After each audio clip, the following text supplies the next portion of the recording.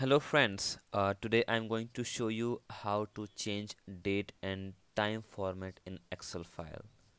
So first of all you will have to open uh, the Excel setup and uh, go to the home menu.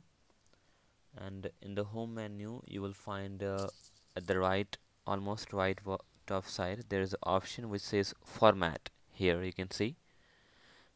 Click on this format option.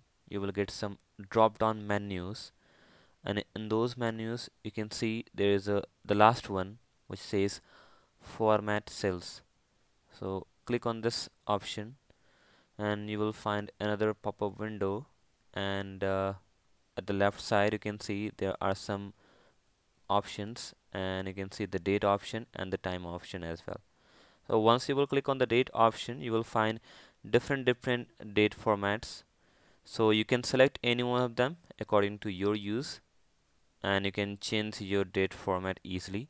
In the same way you can like uh, just click uh, on the same time option and uh, you can select any appropriate time format according to your use. And once you will select uh, these options at last just click on OK and your date and time format will be changed automatically. Thank you so much for the watching if you like the videos please do subscribe and uh, share this video. Thank you so much